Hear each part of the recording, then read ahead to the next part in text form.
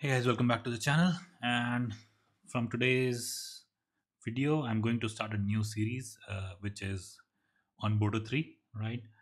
Uh, so we did a series earlier with AWS CLI, and I thought let let's just do a series on Boto 3 as well. So if you don't know what Boto 3 is, so Boto 3 is basically Python SDK, uh, which actually lets you interact with your resources in AWS cloud, right? So that's what Boto 3 is. And will this series is for beginners and people who all I mean already know Boto 3 it's for both of you guys. I mean there's no prereq. So I'll start off with something very basic and then we'll do something what we did with AWS CLI right? We'll first look at few samples of I mean how to use Boto 3 and then we'll cover a few major services like S3 EC2 right so let's get started. Uh, so let me first install boto 3 so boto 3 is installable using pip. So if you do pip install boto 3 and you can see I already have it installed. So that's why but that's how you install it pip right? And to use it it's very simple. So on the left hand side I have my python console and this is my terminal. So I'll just do an import on boto 3 right? So now I can use the Boto 3 functions. So to start using Boto 3 you first need to create a client. So if you simply do dir Boto 3 you can see what all methods are available to you and this is the method which we are looking for client right? Uh, we also have a resource uh, method which you can actually use to interact with uh, resources but uh, i'll talk about difference between client and uh, resource later. Because yeah i'll talk about it later. Let's let's just focus on client. So to create a client uh, i'll just do say c is equal to boto 3 dot client if i get the spelling right. And then i need to specify a service so whatever service I want to connect to right? So in this case I want to create an S3 client. So I'll do this.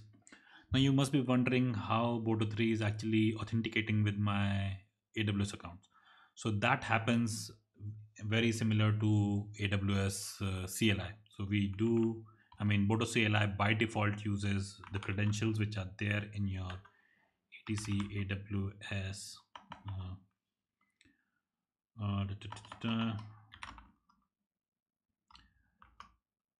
dot aws i think it's the credentials file right?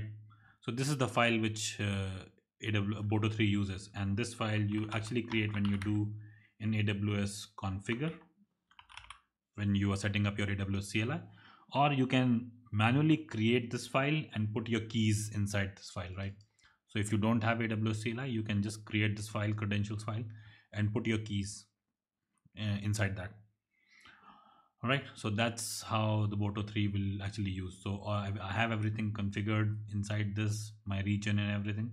So the Boto 3 client will actually know that it needs to connect to which account and which region, right? All right, so now, so we have created a client you can see it's created. So what can we do here? So when you create a client it's a very low level api right? So client is very low level. So one difference between resource and client let me just tell you that resource is a, a, a lot high level uh, api whereas the client is a very low level api in boto 3 and it's very similar to what all stuff is available to you in aws cli right? The cli api what it provides. Uh, same thing is provided by the Boto 3 client API. So if I do AWS S3 and I just, you can see, or not S3, I would do S3 API because we, we are dealing with S3 API. And now if I do, you can see all these uh, actions are available to you, right? Similarly, if I do dir on C, you can see the same actions are available to you in the client right? s3 client. It's just that you here you have hyphenated uh, uh, apis and here you have uh, apis with underscore. So if I do say if I want to list the buckets right let me clear the screen. So I can simply do c dot list underscore buckets. So I'm referring to the same API which AWS CLI provides me uh, using Boto 3 and if I just do this it's going to list all the buckets you can see. So I mean it's a JSON format output. If you just want to filter it I can do it with buckets right? So now you will get only the buckets and now you can actually refer to each bucket with an index right? So this is the first bucket this is the second bucket and so on right? So that's that's what client provides you very low level api and it provides you similar actions what aws cli uh, provides you right? So talking about resources and clients i've already told you uh, that the major difference between client and resource is that resource is a very high level abstraction of aws right? Whereas client is very low level. So you get almost all the action for all the services that are provided by aws cli and also one more difference between resource and uh, uh, basically client is that resource does not covers all your services whereas your client covers all your services.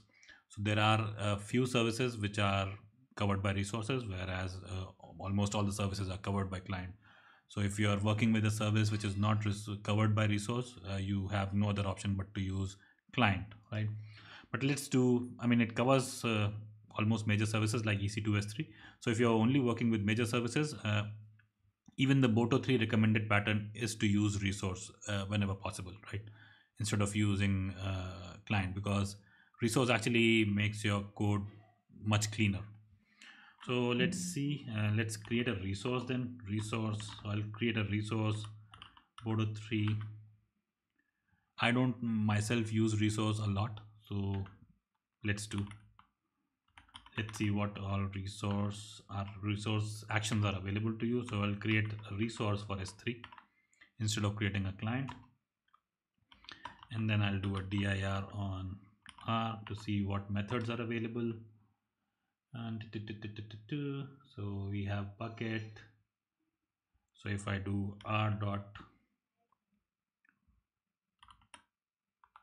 bucket and let me do a dir on this because I don't think so it's so we have few methods here Okay, so I think this needs some kind of initialization. So this is not I was I mean this is not I'm what I'm looking for. Uh, I actually want to list the buckets using the resource and I think I'm forgetting uh, how it is done. Just let me think. I think it is so R is my so let me try this bucket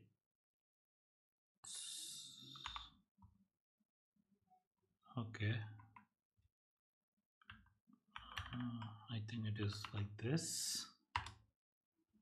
Okay so it's returning me a collection or a generator or iterator object whatever it is. So if I do something like this yeah.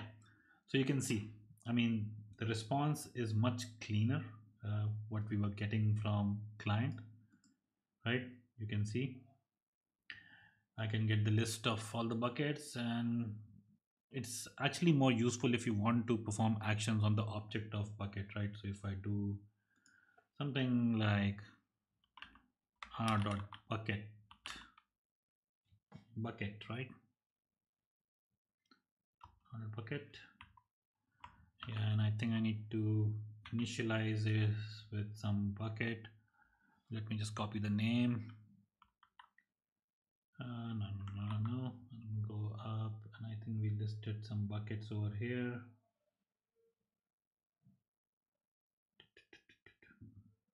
Uh, looking for a bucket which actually has something. I'm not sure if any any bucket has anything. All right so let me just clear the screen r dot bucket. See that's what happened when you don't work with resources much right? You have to think and you have to I mean I'll probably refer to documentation rather than just second guessing myself. So and I'll just initialize some or rather say obj1 right? So now if I do dir obj1 so I have few methods available to me right?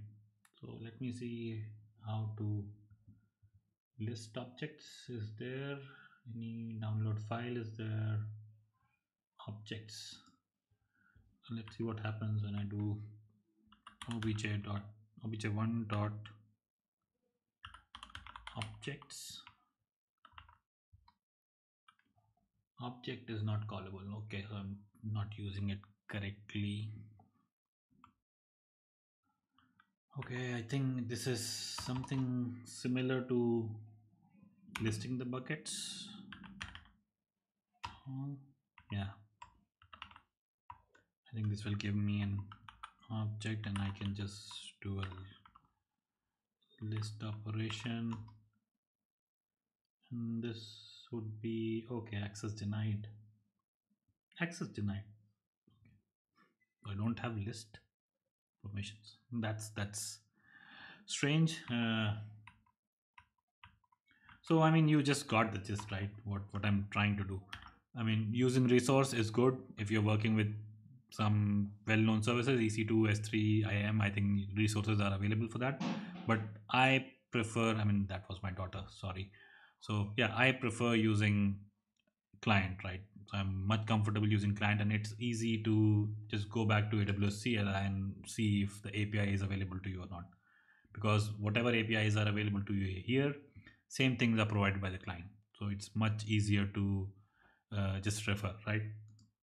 And we'll be using client throughout the course. So we'll not be using resources so if you want to learn resources i would ref i mean I, I can point you to the documentation or you can just do a simple google search on boto 3 resource and you would get a bunch of documentation you can read from. Cool.